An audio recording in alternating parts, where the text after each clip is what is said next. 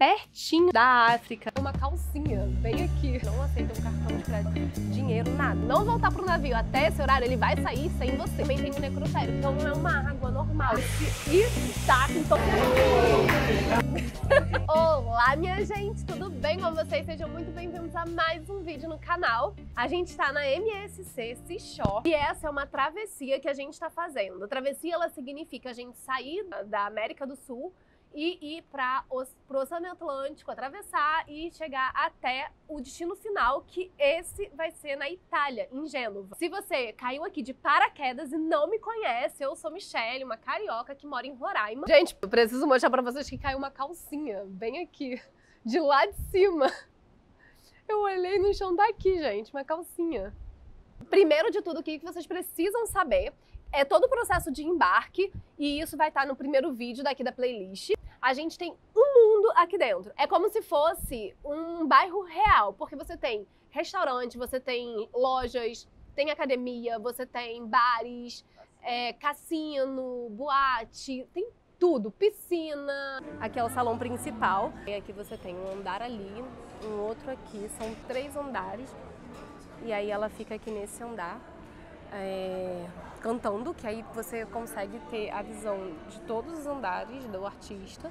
E aqui embaixo fica muita gente também dançando aqui. Esse é um bar gigantesco, que é logo no primeiro piso. E aqui é uma escada de Swarovski. Muita gente é, tira foto nessa escada. Ali você também tem uma área de cadeiras, mesas também para você sentar e olhar para de frente para o mar, né?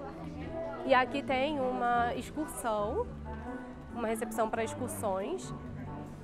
Aqui tem um bar também, que aí você pega bebida, fica aqui curtindo o show. Tem outro lounge ali também de mesas e sofás.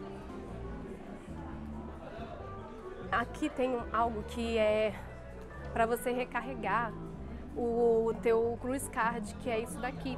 Cadê, Mota aí? Que é um, um trequinho desse. E aí você tem várias é, línguas aqui também para te ajudar a fazer isso. E aí por quê? Porque tudo no navio você compra com isso daqui.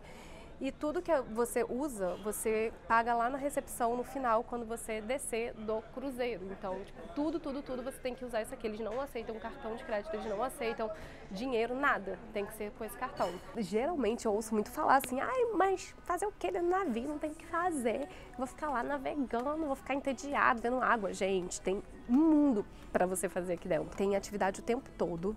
Aqui geralmente tem dança, tem sudoku para fazer.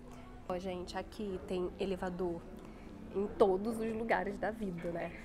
Aí são, quando tu entra num desses corredores, tem quatro elevadores, ali tem um númerozinho, tá vendo? E aqui tem tipo um display onde você consegue ver todos os andares para você se localizar, porque é muito difícil você se localizar no navio, porque ele é muito grande. Então, por exemplo, aqui é, ele mostra inglês, mas você pode colocar várias línguas aqui, tá vendo? Francês, cadê? Português. E aí aqui você tem as lojas, ó, a gente tá aqui, ó. Tem um restaurante, tem é, recepção. Você tem muitos ambientes dentro e fora. E os ambientes dentro, eles sempre são com muito, muito gelados.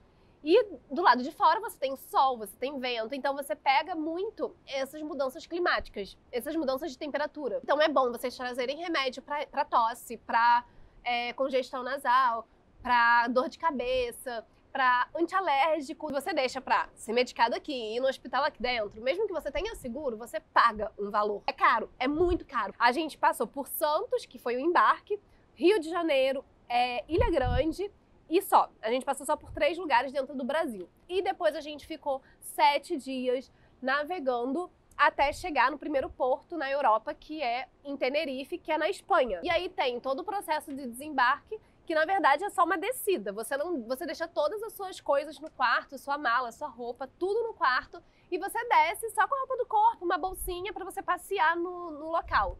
E aí o cruzeiro geralmente ele fica um dia inteiro. Então você chega, por exemplo, 8 horas da manhã, desce do navio e parte às 6 horas da tarde. Ele sempre dá um horário para você descer é, mínimo, né? Você tem que descer a partir de tal horário e sempre te dá um horário para você voltar. E você precisa voltar pro navio, porque se você não voltar pro navio até esse horário, ele vai sair sem você. Em qualquer momento, tá? Mesmo você saindo do navio ou estando dentro do navio, é importante você é, não deixar as coisas no cofre. Tem um cofre dentro do, do, do, quarto, mas não é legal você deixar porque ele é, pode acontecer alguma coisa. A gente deixou o nosso todo o nosso dinheiro guardado dentro de, da mala, só que tipo num, enrolado numa roupa, dentro de um compartimento bem escondido e a gente fechou com um cadeado. Tem cruzeiro que eu já fiz que não é essa travessia, que foi cruzeiro para América do para América do Sul, que é para Argentina e Uruguai. E na Argentina, o cruzeiro ele fica três noites, se eu não me engano, ou duas noites. Então é legal porque você consegue passar a noite também na cidade. E aí eu digo que é importante fazer, ter essa experiência na vida, pelo menos uma vez na vida, porque é muito diferente. É você estar no, na, na, no meio do oceano, você estar no meio do mar, em cima de um transatlântico e você conseguir ver o pôr do sol, o nascer do sol, é algo assim inexplicável. É lindo demais.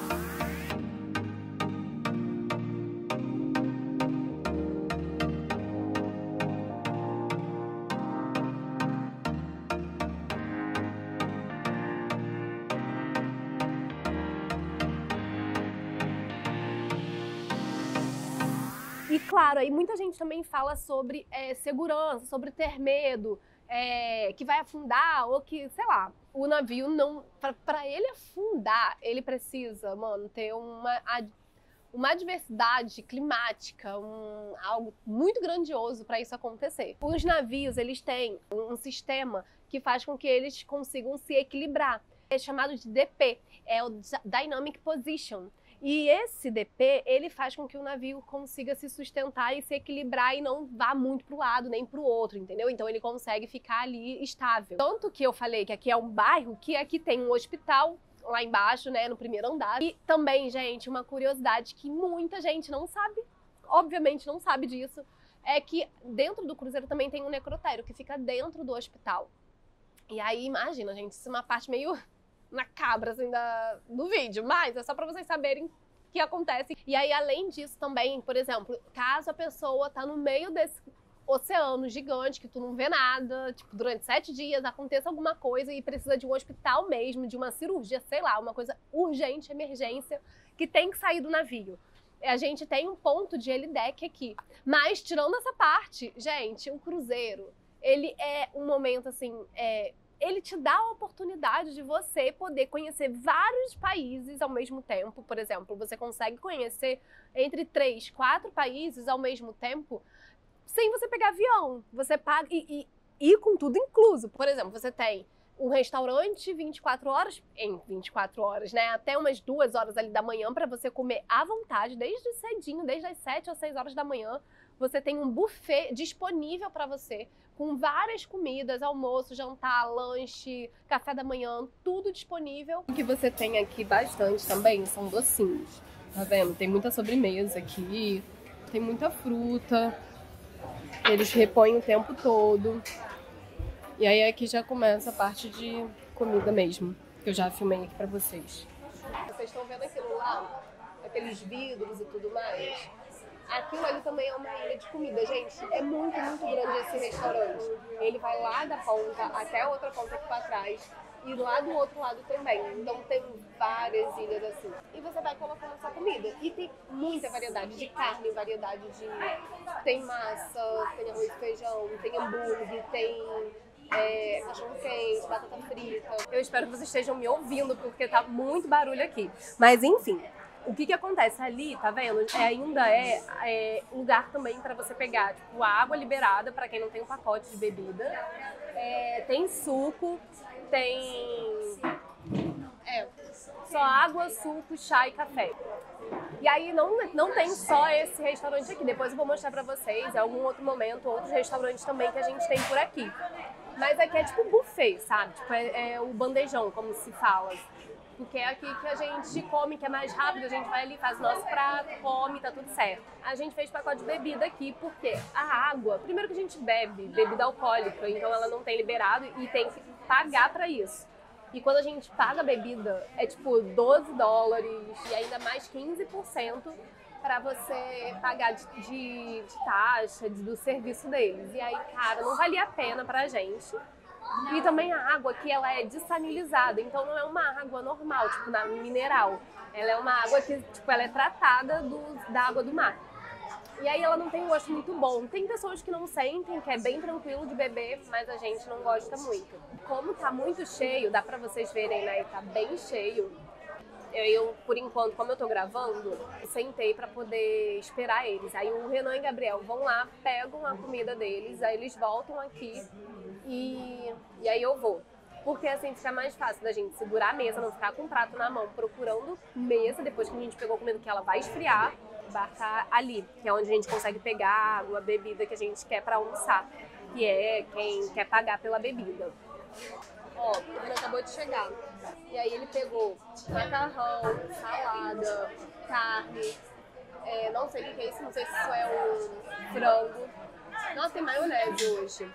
Ontem aqui tinha camarão frito. Aqui é para quem não tem pacote de bebida, tá vendo? Tem café, tem suco, tem água.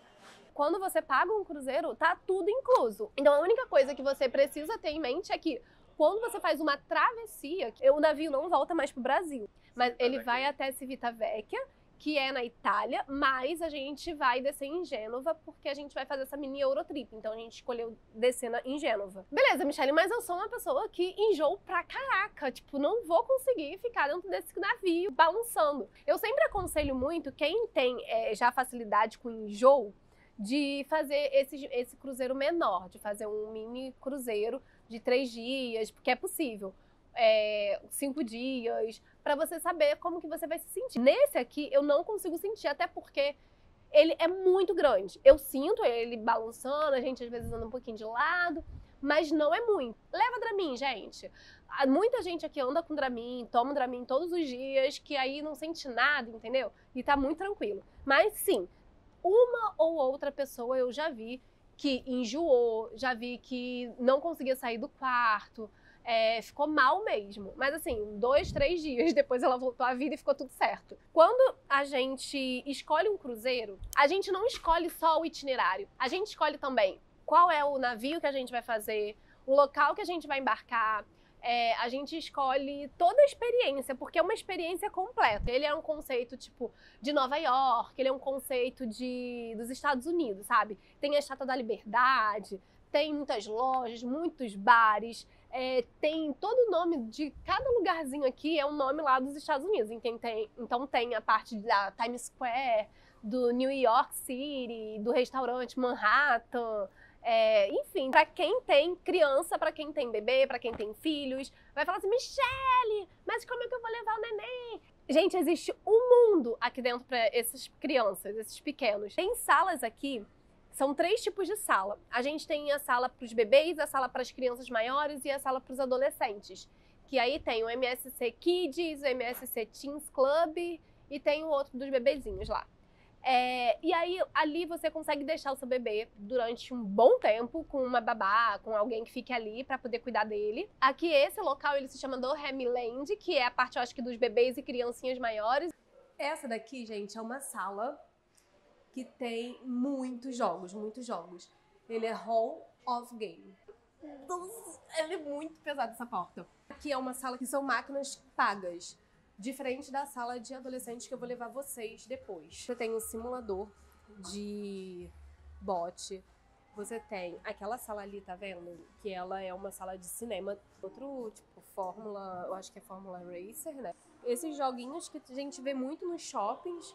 Aqui a gente comprou o Fan Pass, que é tipo um passaportezinho pro Gabriel, que aí ele consegue, ele tem 140 dólares, foi 400 e poucos reais que ele tem 140 dólares ali para ele utilizar na viagem. E tem uma aqui que é de futebol, de Fórmula 1, que você joga. A gente jogou nessa máquina que é bem legal. No Teams Club é até os 17 anos, vai, eu acho que até os 18. E ali você consegue. Você tem videogame, tem muita é, competição, tem ping-pong, hum, jogos de tabuleiro, jogos, enfim, diversos. Tem uma pessoa que fica com eles, ela leva eles para comer, para jantar, para almoçar. Gente, é muito, muito bom para quem tem criança. Por exemplo, a gente veio com meu cunhado, ele tem 15 anos e ele, ele já não tá mais com a gente, sabe? Depois de cinco dias de, de cruzeiro, ele já tá sozinho. Ele tem um cartãozinho dele que tem o nosso nome, número de cabine, tudo certinho. E ele tem o dele. A gente fez um pacote de bebidas e esse pacote dele não dá direito a bebida alcoólica e não pode, obviamente. Então os bares já sabem, quando pega o cartãozinho dele, sabe que é menor de idade e não vende bebida alcoólica. Dentro do navio, a gente não tem muitas pessoas falando português de tripulante e até de passageiro também. Quando você faz essa travessia, geralmente você encontra muito alemão, italiano, americano, enfim. É 90% idoso. Você quase não encontra pessoas jovens. E quando você encontra, é engraçado que eles todos se juntam para poder sabe, fazer a festa no navio. A gente tem 27 bares e restaurantes aqui dentro. Então você, por exemplo, para quem quer é, uma cafeteria, por exemplo, pode tomar um café, um chocolate quente de manhã, ou num, num, quase no final da tarde ali. Você pode ouvir. E isso tudo, gente, em todos os lugares que você passa, tá tocando algum jazz ou uma música mais moderna. São seis piscinas que tem aqui dentro do, do navio. Então a gente tem uma que é a Infinity Pool, que é uma piscina de borda infinita. Você tem a Long Island, que é uma piscina uh, muito legal também. A Jungle Pool, ela tá em um ambiente que é mais quentinho. O teto dela, ele é retrátil, então eles conseguem abrir e fechar. E aí, quando tá mais gelado, por exemplo, quando a gente já estiver bem mais para frente, mais alto lá na Europa, aí fica mais frio. Então, provavelmente vai esfriar e ninguém vai conseguir entrar na piscina. Nunca veio aqui. Olha que lindo. Ah, aqui, amor. E essa aqui é a piscina Infinity Pool que estava acontecendo. Oh, Infinity Pool não. Essa é a piscina principal daqui. Oi? É a Long Island, que teve o, a festa do Netuno, que vocês acabaram de ver. Nossa, e tá muito. Ó, tem música o tempo todo. E eles estão provavelmente limpando, porque a piscina ficou um nojo, né? Nossa, gente, ainda tá com cheiro de, de ovo, de chocolate, de tudo. Olha isso, eles estão limpando a piscina todinha. Ai, que cheiro horrível! Ah, e aqui sempre tem essas jacuzzis que o pessoal fica aí, só tem capacidade para oito pessoas. E aí tem do outro lado também. E aqui em cima tem, aqui tem um bar, aqui em cima tem outro bar. E ai, ai sempre tem esses chuveiros aqui também para quem não quer entrar na piscina ou para quem quer tirar o sal, porque gente, inclusive, a piscina aqui ela é de água salgada, porque ela é abastecida com água do mar. Então, só essa daqui, na verdade, porque tem outras duas que já não é água salgada, é água doce. Ah, vou mostrar aqui, esse é o toboágua, tobogã. Que a gente tem esse, que é muito legal. Tu desce, tu dá várias voltas aqui. E tem esse daqui, que é das crianças. Na verdade, que não só criança, mas os adultos vêm brincar também. E aí é com o povo, tá vendo? Olha, essa piscina é bem rasinha. A que tava lá na Long Island, que a gente tava agora, ela tem uma parte rasa e uma, uma parte funda, bem funda mesmo, não dá pra botar pé. É, essa aqui é um tema, tipo, como se fosse uma aventura, é uma caça ao tesouro, tem um balde ali gigantesco que ele enche, enche, enche, enche até cair e aí cai um monte de água. E aquele toboágua ali, ele é para ir com boia. Começou a ventar muito. Não sei se vocês estão conseguindo me ouvir bem, mas tá ventando demais. Não sei como esse pessoal tá conseguindo ficar aqui, mas até que tá um sol e tá bem gostoso, assim, tá calor. Olha como que é legal. e vai criança, vai adulto, vai gente, todas as idades. Você tem também todas as festas temáticas.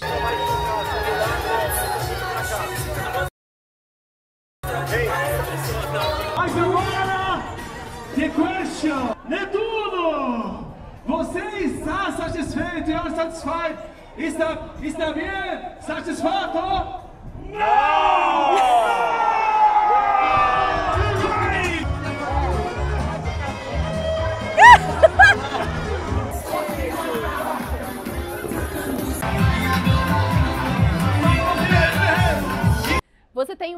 Nath, inclusive, que é aqui nesse navio, ela se chama Cabaré. A gente teve uma festa aqui que foi bem legal, que foi a Silent Party, que é uma festa que você não, não tem música, tipo, ambiente. Você entra com um fone de ouvido e aí você tem três estações para você ficar mudando. E aí é muito engraçado, porque você dança, tipo, uma música, o outro do teu lado tá dançando outra música. E é muito louco. Quando você tira o fone, você ouve as pessoas cantando músicas completamente aleatórias. É bem legal.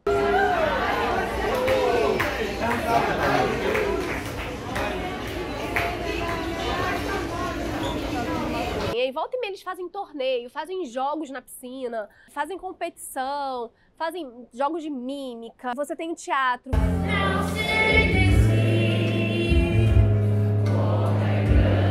Senhores, gusto, señores. Senhoras, eu gusto. Não sei, não sei, não sei. Hoje é mais uma tradição do navio. Então, a MSC sempre faz festas temáticas. E aí, hoje a gente está indo para Festa do Branco, por isso que estou assim de branco, Renan de branco e até o tênis. Olha como é que tá meu look. O Gabriel já foi embora, gente. Adolescente navio. Nossa, na idade dele, quando eu viajei, era assim, entendeu? Ah, eu acho. Meu olho é bonito, tá ligado? Só quando eu chego lá em cima.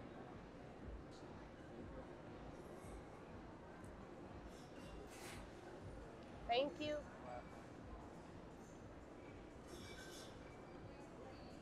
Gente, estamos aqui esperando abrir o nosso restaurante. Amor, abre aí pra mim, por favor.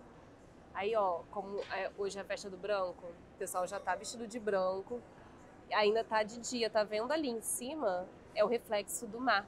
Olha como é que ele tá correndo bastante, dá para vocês verem. Ah lá. Ali é o teto, tá refletindo.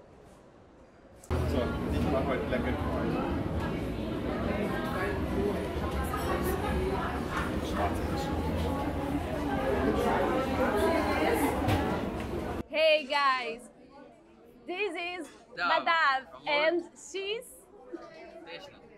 Teshna. Teshna. From Mauritius Island. Eles são super queridos, uns fofos, cute. Cute person. A gente gosta muito de saber um pouco da história deles também. Porque, gente, trabalhar num cruzeiro não é fácil. Trabalhar com as pessoas no cruzeiro é muito difícil. E eles têm uma carga horária muito grande. Então, tipo, a gente gosta muito de ser solícito, de ser muito simpático e de conversar muito com eles. E aí, eles são da, de, da ilha, e a Ilha Maurícios, né?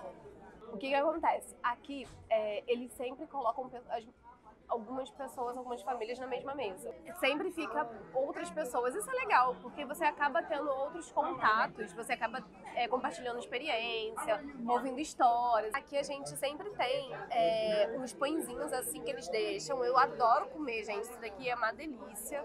Olha, e aí a gente já pediu o nosso chopp aqui, que a gente já tava bebendo lá no bar. Eu vou continuar, mas geralmente eu tô pedindo é, vinho. Thank you. Tem prato do Oriente Médio, vou comer hoje. Tem prato do Oriente Médio? Rice, you have a raita, raita with yogurt and bread and onion. Yes? Yeah, yeah. yes, yes, yes. You, hey, I will give you so you can follow me. Yeah. Olha, chegou a nossa sopa de feijão com macarrão. E assim, todas as comidas aqui, elas são maravilhosas, gente. De verdade, assim, tão excelente. Olha, e o nosso prato principal chegou. Aqui a gente tem um pão que seria sírio, mas é indiano, que não foi comprado com pão é, sírio, né, hoje. Esse daqui é tipo um iogurte, não sei o que que é, esse verdinho. Parece muito pepino. É. E aí aqui é humus. Eu acho que isso daqui que é humus, a gente pediu para experimentar, gente, mas o cheiro tá uma delícia. O cheiro tá assim sensacional.